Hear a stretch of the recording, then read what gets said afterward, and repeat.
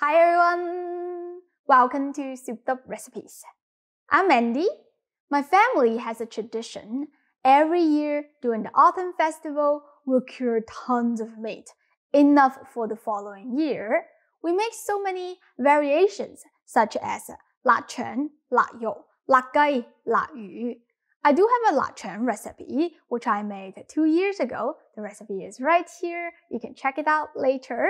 Today, I want to show you how to make 腊肉 because it is a popular ingredient and it is harder to find outside of China. Once you learned it, you can use it to make lots of traditional Chinese recipes, such as Cantonese fried rice, clay pot rice, taro cake, Cantonese turnip cake, and XO sauce.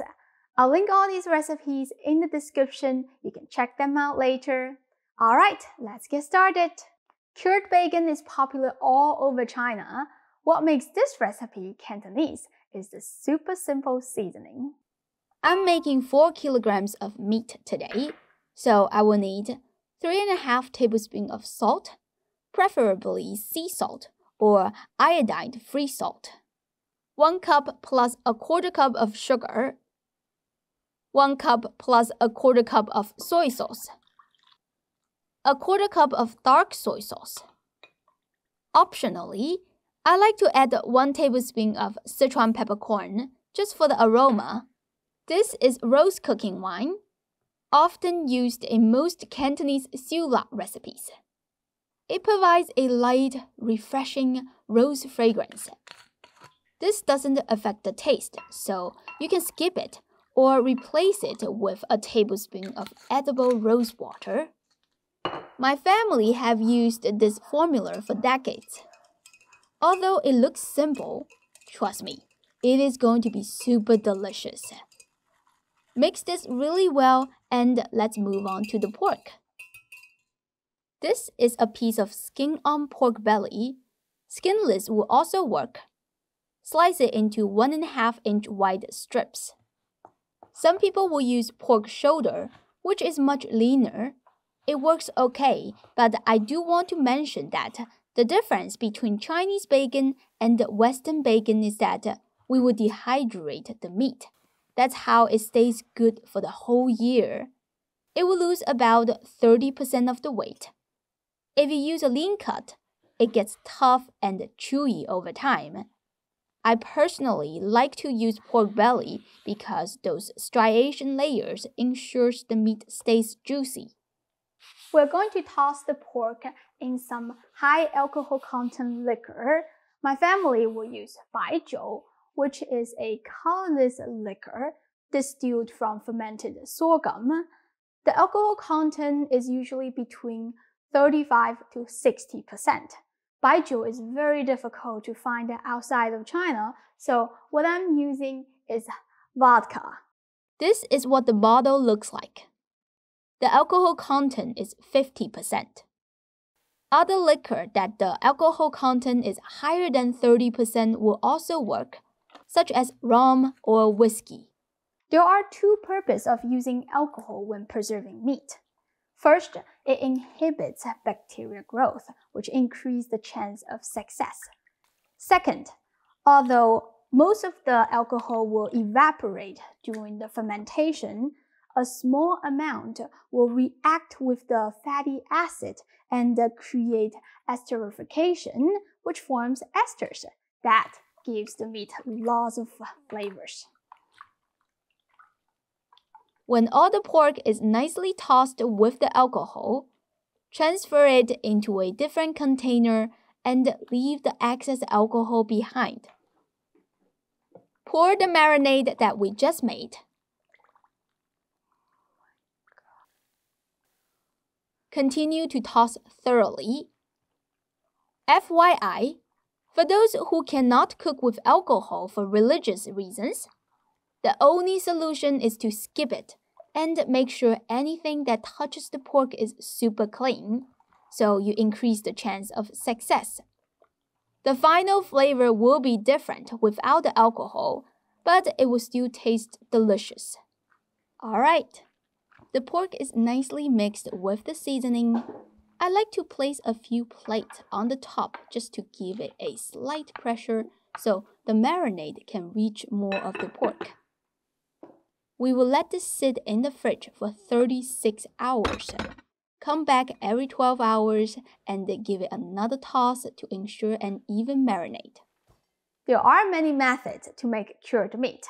The traditional way is to hang it outside for two to three weeks and be aware of the weather. We have a saying in Cantonese called 秋风起，食腊味, which means when autumn winds, eat preserved meat. Autumn is the best season to make cured meat because the weather is perfect. It doesn't rain too much.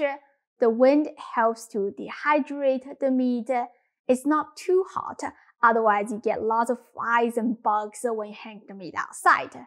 It is not freezing cold either, which allows the fermentation that gives the cured meat the distinctive taste. I really wanted to show you the traditional hanging method, but South Florida is too hot for that. I just checked the weather. There's not even one day in a year that the temperature is below 60. So I can only show you the oven method in this video. However, I wrote down the instructions here. If the weather in your area is good, you can give it a try. Also, here is a dehydrator method, just so you have one more option. This is 36 hours later. The pork is nicely marinated and ready to go. Use a sharp little knife to poke a hole through the skin. Be super careful, don't cut yourself. Use the chopsticks to help to push the kitchen twine through the hole. Tie it up do that to the rest of the pork.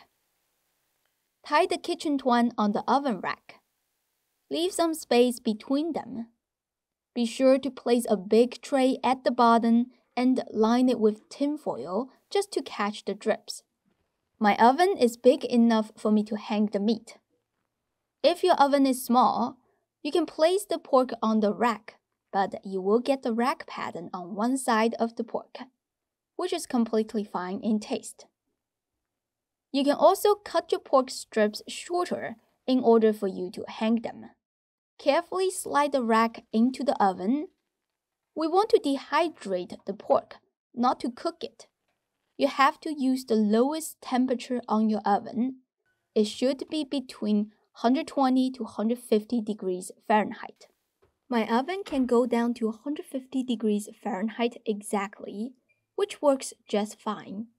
If your oven's minimum temperature is higher than 150 degrees Fahrenheit, you can prop the oven door to keep it slightly open so the extra temperature inside the oven is lower. Since we got plenty of time to wait, let me introduce you to today's sponsorship, Souped Up Recipes Ceramic Chopsticks. I just launched these. I know ceramic may sound new to you, but it is the best material for chopsticks because it is easy to clean, dishwasher safe, it doesn't get mold or rust. Unlike wooden chopsticks that you have to replace them every three to six months because of hygiene issues, ceramic chopsticks will look brand new even if you have used them for years. Chopsticks are essential in Chinese cuisine. I eat with them every single day They are also great cooking utensils to beat eggs, stir fry noodles, poke holes, flip ingredients, transfer food from one plate to another. So versatile. I designed them in four different patterns. They're so beautiful and elegant. It will be a great gift item for your friends and family. If you want to buy them, the link is in the description. We have 15% discount sale for the holiday. Go check it out. My pork looks like this after 20 hours. The strips become much shorter. There is a lot of oil dripped down to the baking tray that is completely normal. The texture is firm. The color is nice and brown, really shiny. It smells amazing too. Your lap yok is basically done, and ready for any recipe that asks for Chinese cured bacon. To store them, a lot of people will put it in a Ziploc bag or seal it in a vacuum bag and freeze it. It will stay good for 8 to 12 months. But I like to do an optional step before I freeze mine. I will wrap it with paper towels and put it in the fridge for 4 weeks. Do not wrap it in plastic bags. It needs to be uncovered, or else it will trap moisture and that will cause spoilage. After 4 weeks, I will seal it in vacuum bags and freeze it. Let me explain why I do this extra step. There are three important things when curing meat. Seasoning, dehydration, and fermentation. So far, we have done the seasoning and dehydration. As for the fermentation, you need time for that. There is no shortcuts. I mean, the pork tastes amazing already, but letting it sit in the fridge will develop even more distinctive and complex flavor. Do not worry that it is going to go bad because the high salt and sugar content will keep it good. Also, it is well dehydrated, so it won't spoil easily. My family will hang it at the ceiling right above the firewood stove. Every day when we cook, we light up the wood. The smoke and little bit of heat will help with the preservation. That's why it stays good for years. However, if you don't have that type of daily smoking environment, four weeks is enough. You have to seal it and freeze it. Alright, that is all for today. I hope you enjoyed this video and give it a try soon. As always, the printable recipe will be on my website, soupeduprecipes.com. Don't forget to hit the like button and share this video to your friends and families. That really encourage me to continue to make more delicious recipes. Thank you for watching and I'll see you next time. Bye!